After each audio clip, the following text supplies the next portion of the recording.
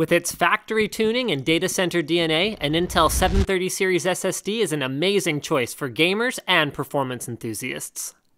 Welcome to part two of my coverage of Sonos' Play series of network speakers. In part one, which you can view here, I covered wired setup, ease of use, the basics of their app, and the sound quality of the Play 1 and the Play 3.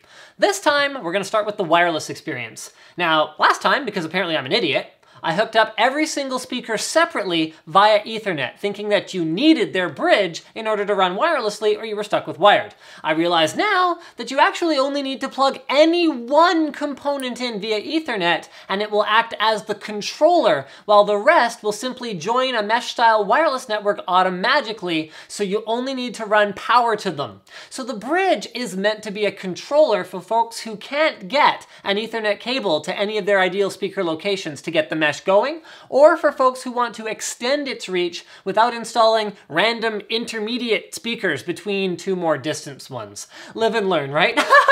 anyway. While generally I'm not a big fan of wireless networking's slow, interference-ridden, headache-inducing terribleness, Music streaming isn't terribly demanding, and Sonos' solution, which runs on the same 2.4 GHz and 5 GHz frequencies as Wi-Fi, but uses a proprietary communication protocol, actually works just fine. It is slower, adding new speakers to the mesh, adjusting settings, changing volume. These are all a little bit less responsive, but it's still very tolerable and reasonably configurable. So like if you're having interference issues, you can manually select a channel if you want, but I didn't experience any stutters, hiccups, or dropouts in my house with it on auto. And I think part of the reason for that is they have a huge buffer on the music that you're playing if you're streaming off a device. You can test this by playing something off your phone turning off your Wi-Fi and seeing how long the speaker keeps playing for. So there you go.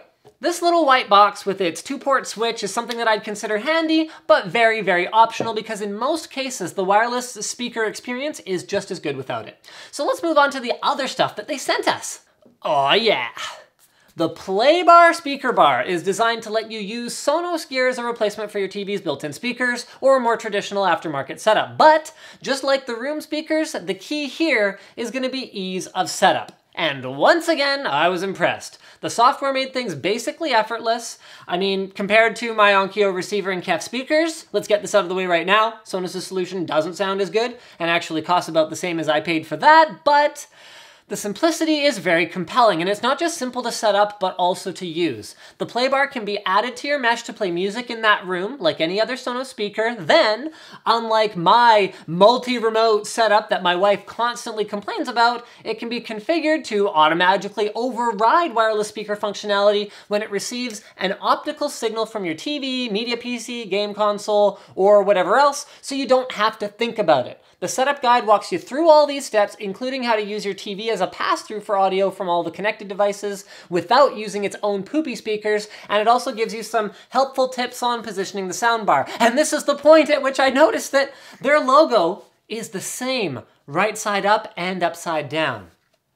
That blew my freaking mind. Anyway, uh, once it was set up, I was pretty happy with it. Volume control is handled seamlessly through your existing remote, and it sounds way better than your TV's stock speakers ever will, and the bass it delivers is surprisingly tight and loud. On top of that, the play bar has a magic give me back some of the mid-range vocal boost button when it's running on optical that I wish all of their speakers had all the time because it really makes Sonos' sound signature much more appealing to me. So there's my feature request in this video.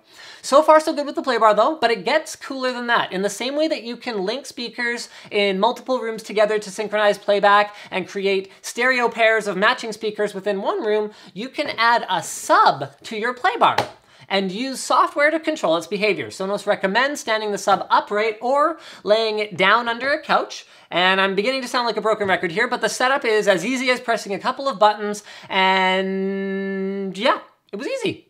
With that said, I didn't really feel like the sub contributed much to the experience for me. If you really want to crank things, then you'll appreciate it, but and this isn't a criticism of the sub, but rather an endorsement of the play bar, at normal TV and movie listening volumes for me, I found that the playbar delivered ample bass on its own. The sub isn't the only thing you might want to expand though. You can add a couple of play ones too with some solid configuration options so you can have them just join in full blast or act as ambient music enhancers when you're playing music in that room or you can use them as surround speakers for movies. It works as well as any of their stuff. Uh, one viewer did specifically ask me to see if the playbar would work with a DTS 5.1 stream in XBMC and it handled it just fine in surround so no complaints over but even if it works exactly as advertised, well, you can expand the playbar this way, I didn't find this config that compelling. I'm not the right customer in the first place. I don't have enough room behind my couch to place speakers there at all, but that's not even my main problem. Even if I had space, I don't have a power outlet there. So once again, I'm a bit disappointed by the limitation that Sonos has imposed on their gear by not giving the Play Ones standard speaker inputs and maybe putting a, a beefier amp with a couple of speaker wire outputs on the playbar or something. This would make the unit slightly less sleek perhaps, but speaker wire is a lot easier to hide next to a baseboard than power extension cords. I mean, maybe to make things easier, a, a, Play One enhanced SKU in the future could have like a power pass-through, so you could daisy chain them with only one of them plugged into the wall or, or something. But as it is, I doubt I'm the only one who will find a Sonos surround setup impractical, however easy it might be to configure from a software side. And I guess that's it for wireless and the home theater setup stuff. So I'm gonna conclude part two with some more general thoughts on having my house Sonosed up. It's not cheap, but for me, this really is next gen. It works the way they say it does. You can stream to individual speakers, full rooms, combinations of rooms. You can adjust volume as groups or to each individual speaker within a group. Expansion is easy and it all feels so made to go together. Even something like that veiled mid-range. I might not prefer that sound, but I have to acknowledge that from the top of their speaker lineup to the bottom, they're delivering that sound signature consistently. So at least when I order something from Sonos, I know what to expect, and a big benefit here is that as I walk from room to room, it's not jarring to hear something, the same music, but playing very differently as I move around my house. I think really at this point, the only thing missing for me is to add more options to the lineup. I'd love to see some better sounding speakers, some more uh, purpose-built ones, like maybe a weather-resistant outdoor speaker, for example. But that's all I really have to say. Other than that, I wholeheartedly recommend Sonos' ecosystem. It's not perfect. Like anything easy, it's not the best sounding, it's not the cheapest, but it just works, and I even got wife approval on it. And at the end of the day, that's the bottom line for new tech gadgets, isn't it? Alright guys, thanks for watching. Like this video if you liked it, dislike it if you disliked it. Leave a comment, let me know your thoughts on Sonos. Have you ever tried it?